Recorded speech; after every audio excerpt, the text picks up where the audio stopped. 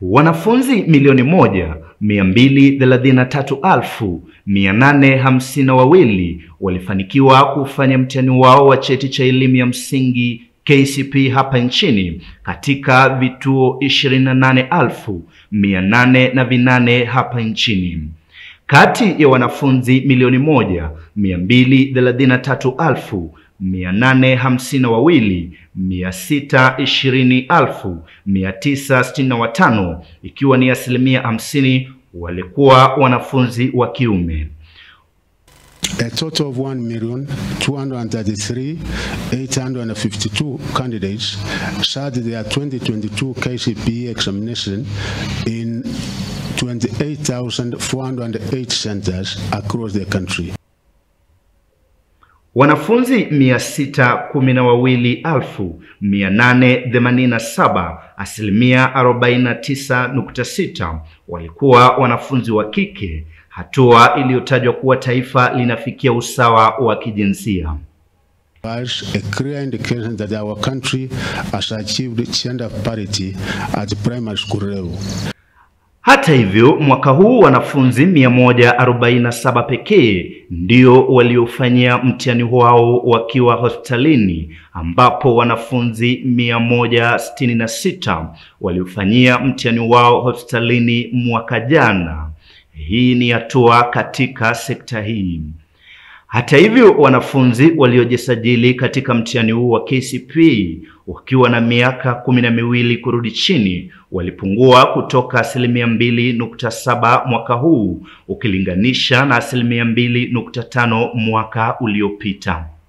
Baringo, Wajia, Bomet, Kericho na West Pokot ni kaunti ambazo ziliwasajili wanafunzi wengi wenye miaka kumi na miwili kupungua, huku Garissa, Turkana, Kilifi, Kwale, Mandera zikiongoza kuwasajili wanafunzi wa miaka kumi na minane na kuendelea juu.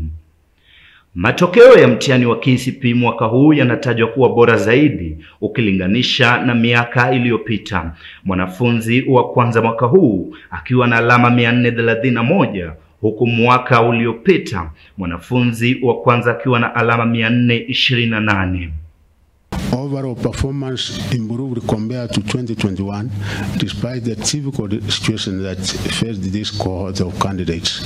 The mark of the highest candidate rose four points from 428 in 2021 to 431 in 2022. Moja kwa moja hadi mji wa Bungoma alikotokea mshindi wa KCP mwaka huu. Robinson Makoa, mwanafunzi mtahiniwa wa KCPE mwaka huu kutoka mjini Bungoma, shule ya Class the King, anaeleza furaha yake baada ya kuibuka mshindi kwa kujizolea alama mia nne thelathini na moja. Kwa majina ni Faro Robinson Makoha kutoka shule ya Christ the King. Ni miaka kumi na minne na nimeweza kuwakilisha alama mia nne thelathini na moja.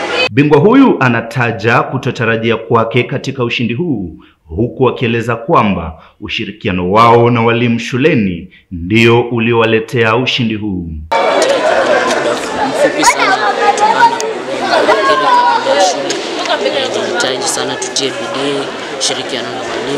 Huku furaha mbwito mbwito ikiwakumbatia wakazi na wa Bungoma pamoja na wanafunzi wa Bungoma. Robinson anaeleza kwamba kukubali kurekebishwa katika kila jambo ni hoja katika mafanikio yoyote. Kukubali wakati umefeli, kukubali kurekebishwa, alafu kutia makini darasani ambapo imechangia kupata alama Emmanuel Wekesa, Dira ya Tandao.